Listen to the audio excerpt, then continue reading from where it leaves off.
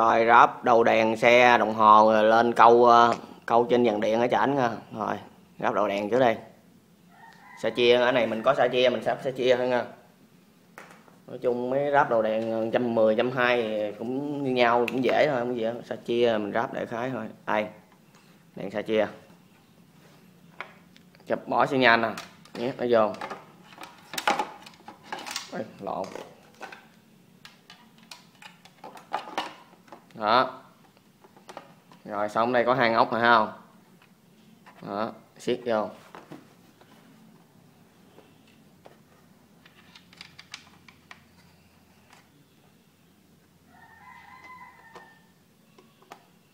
Mấy cái đồ nhựa ờ, siết, gít ba ke mình siết vừa tầm, vừa tay, vừa tới, vừa đụng cứng thôi nha à. chứ đừng có siết quá siết quá là nó quát răng đó, siết để cho nó giữ rồi.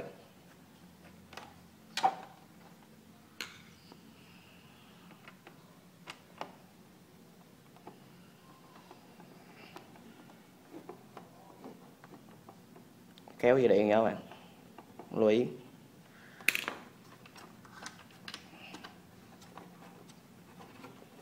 Kéo dây điện nha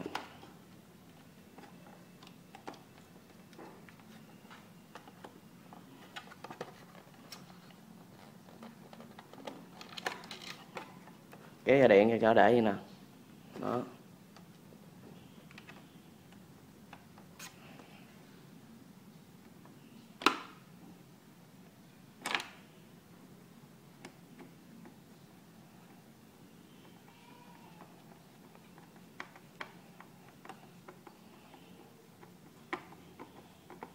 Rồi.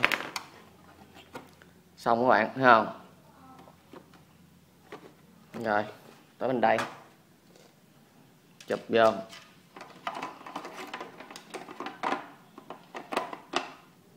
Chụp vô không? Đây.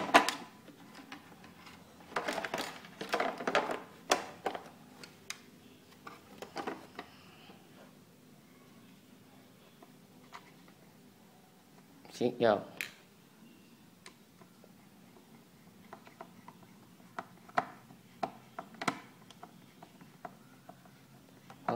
Lắp đầu đèn sa chia nha.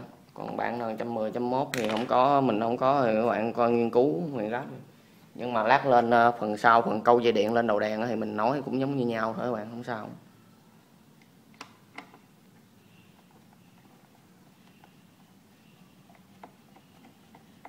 Này chỉ là cái kiểu thôi. Rồi. Ok. Giờ tới phần ờ, đầu đèn nè. Chụp vô nè. Trong này có hai cái bát ở trên này, thấy không? Cái bát cái bát đây.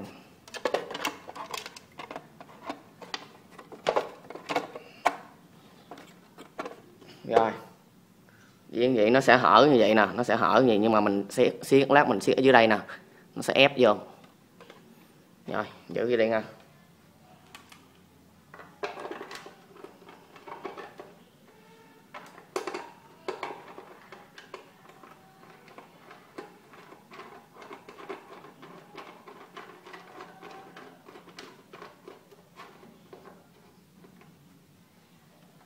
Siết vô nè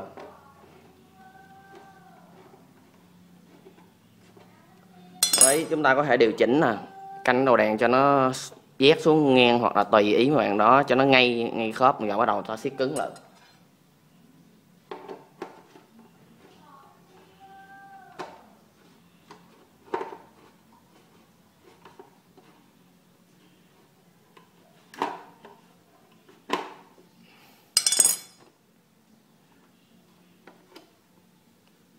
Rồi, vừa khớp ngay không? Nó quất lại siết lại siết cái này cũng siết. Vừa tầm thôi, đừng có nặng quá, các bạn bể cẩn thận. Vừa tầm canh canh vừa đủ từ từ thôi. Ba cái đồ nhựa mình đừng có nặng tay nó quá.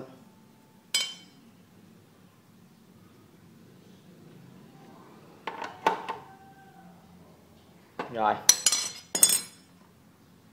Ok. Có phần à, bên à, đồng hồ nữa các bạn.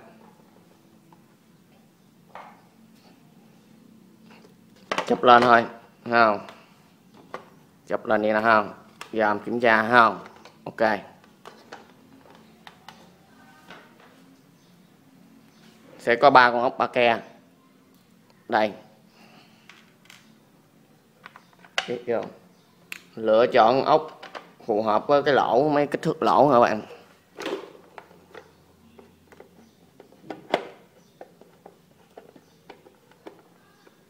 Vừa tầm thôi, vừa sượng sượng thôi được rồi. Siết cứng quá, nó hư mũ. Siết cứng quá mà mình mới mốt mình lỡ mình gửi ráp vài lần vô, nó cũng muốn hư hết. Nó bị lỏng các bạn.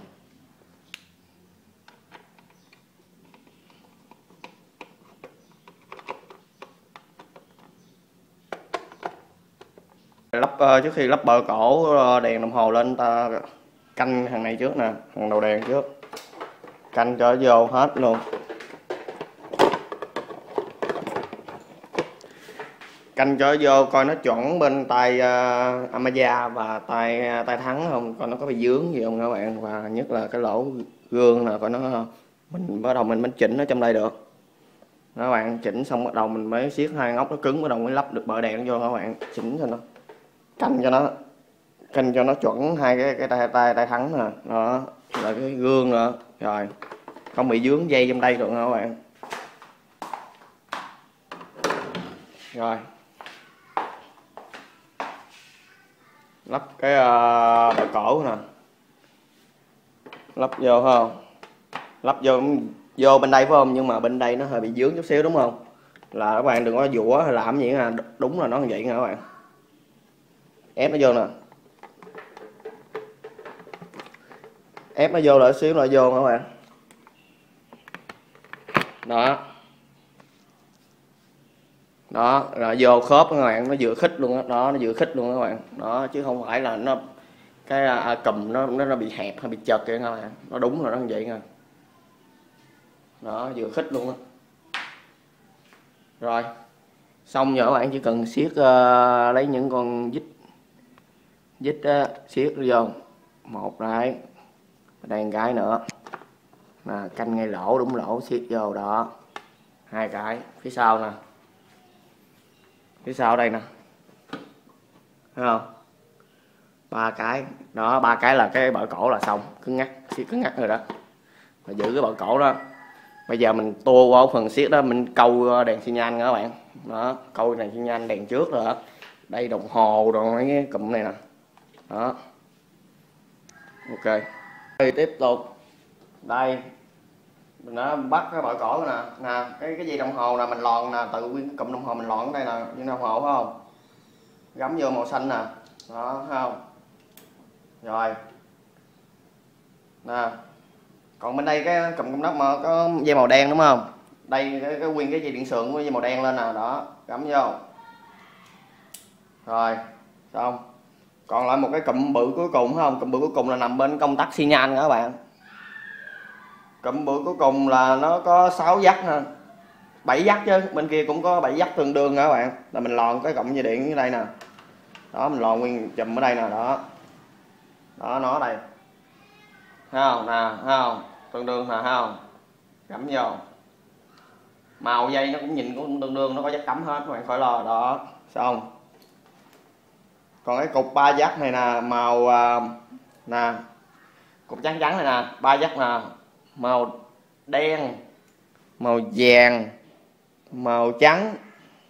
Đó màu đen sọc trắng là màu vàng là màu trắng là của hàng dắt cắm uh, bóng đèn.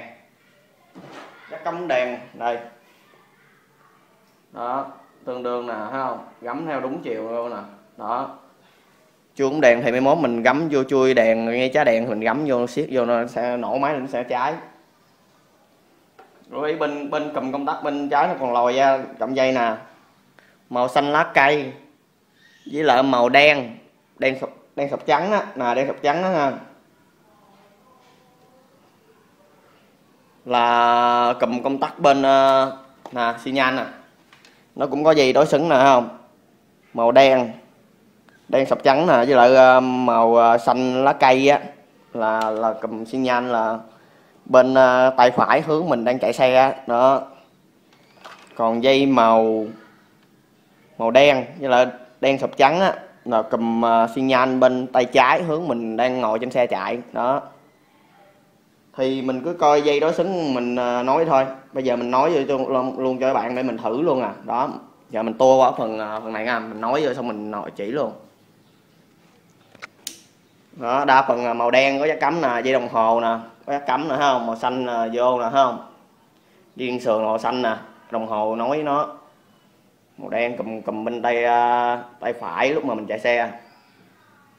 Cầm tay trái nè đó. Đó có đó. Rồi. Quý nè xi nhan bên phải hướng chúng ta đang ngồi trên xe chạy là, là xi nhan phải là màu xanh lá cây màu đen sọc trắng. Tương ứng với ờ, cái màu xanh lá cây và đen sọc trắng của dây điện sườn nó đưa ra nữa không? Nó đưa lên cụm đầu nữa không? Quyền vàng cái điện đưa lên thế nào cũng phải có. Và để phân biệt nữa đó nè. Còn bên ờ, uh, xi nhan bên trái hướng cho ta đang ngồi chạy xe nè. Màu đen sọc trắng nè và màu đen nè. Đó tương ứng với dây điện sườn đưa đưa ra luôn ha không? Đó đưa hai cộng này nè. Tổng cộng 4 cộng của xi nhan hai bên nữa không? Còn ngay cái chỗ mà cùm tay lái à, uh, cùm tay lái bên trái hướng chúng ta đang ngồi chạy xe đưa ra. Nó sẽ có một cái dắt cắm vàng trắng đen sọc trắng. Đó là dắt cắm của chui đèn trước. Nổ máy lên nó mới có nổi có đèn. Bây giờ mình thử nè bật cửa khóa lên nè. Rồi, đồng hồ hoạt động bình thường, báo số cũng hoạt động bình thường. Bật xi nhan nè, bên ờ, tay phải hướng lên đang chạy xe rồi, ok. Xi nhan trái. Rồi, ok, đèn này cũng phải nhấp. Rồi, tắt. Rồi đó là ok. Thấy không bạn? Đó, bây giờ mình rút dây ra nè. Rút ra hết đây để mình nói lại. Phần này phải nói kỹ. Rồi. Nè nguyên cụm dây điện sườn lên nào, thấy không bạn? Cụm dây điện sườn lên, cái có cái chốt màu xanh là nói về đồng hồ nè đó, có màu xanh nè. Nói đồng hồ nè. Đó. Và dây này, dây điện sườn loại hai nữa các bạn. Đó còn cái nào màu đen là nói qua bên cụm công tắc nè cụm công tắc bên tay phải hướng chúng ta đang ngồi. Rồi còn một cái cùm bự nữa cùm bự còn lại là nói bên ờ, uh, cùm công tắc bên tay trái hướng chúng ta đang chạy xe. Đó là ba cùm này đó đi chung. Còn một cái cùm trắng á, dắt cắm trắng á, có vàng trắng đen sọc trắng là chui đèn trước đó. Rồi cái dây điện sườn nó đi lên nè dây điện sườn đi lên rồi không? Đó.